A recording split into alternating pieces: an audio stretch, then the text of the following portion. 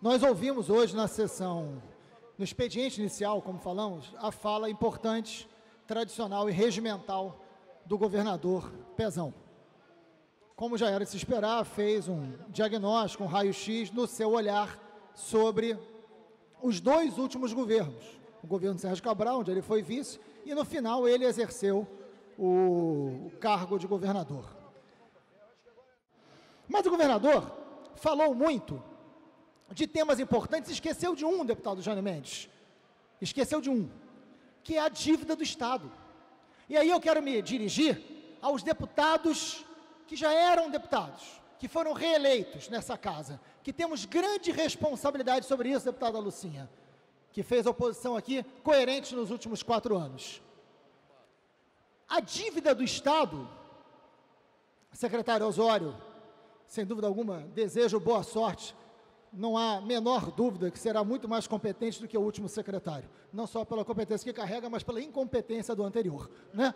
Agora, quero dizer, Osório, que a dívida do Estado não é pequena.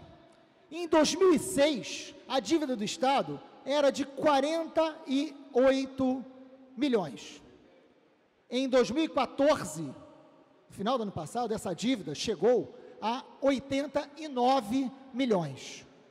Ou seja, nos dois governos, do Cabral e do Pezão, nós tivemos um acréscimo de 48 para 89, de 87% da dívida. O Rio de Janeiro hoje tem como dívida um valor superior ao seu orçamento de um ano. De um ano. Por isso, vocês, deputados que vão virar secretários, vão virar secretários com orçamento muito menor e já cortado. É o que está acontecendo com a segurança. Não sei qual é o corte na área de transporte, mas certamente há. Mas há na segurança, há na educação, há na saúde. Há um aperto, há um arroxo. Evidente que há uma conjuntura desfavorável, nacional. Evidente que é uma crise que reconhecemos e temos que ter responsabilidade para reconhecer. Mas não é possível que esse governo não tenha um pingo de autocrítica. Não é possível que esse governo não diga, por exemplo, as 50, deputada Lucinha, as 50 mensagens, não é um número chutado, 50 mensagens de pedidos de empréstimos nessa casa, deputado Johnny Mendes, aprovados de forma irresponsável, aprovado diante de tamanha submissão que envergonha o legislativo, um cheque em branco, um cheque em branco, não havia sequer o valor dos juros. Deputados, Vossas Excelências, quando pegam empréstimos pessoais, tomara que não precisem, porque os bancos são cretinos, pegam sem, sem discutir as garantias? Pegam sem saber qual é os juros? Não, pegam em qualquer banco, pegam em banco internacional.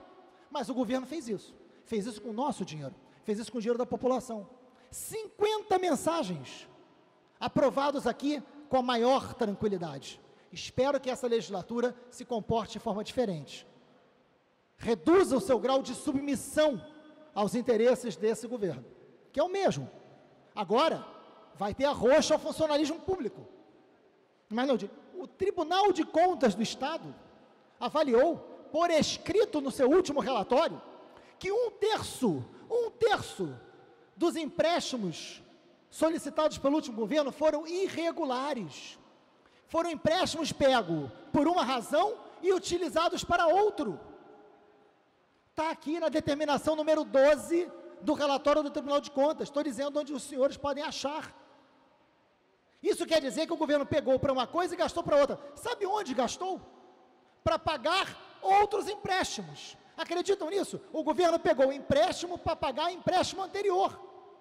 Então, uma das razões da dificuldade financeira que o Rio de Janeiro vive hoje é a incompetência do próprio governo a incompetência do próprio governo. Se não fizer essa autocrítica e continuar mandando mensagem sem qualquer cuidado, daqui a quatro anos, não sei o que será. Hoje, nós pagamos do orçamento 8% para amortizar a dívida. É o terceiro valor na escala de prioridade do governo. Gasta-se mais com a amortização da dívida, deputado Flávio Serafini, do que se gasta com saúde. Do que se gasta com saúde. Não é possível que esse não seja um assunto que o governador não pudesse ter pelo menos uma preocupação. O governador falou da crise, mas esqueceu-se de falar do seu perdão. Esqueceu-se.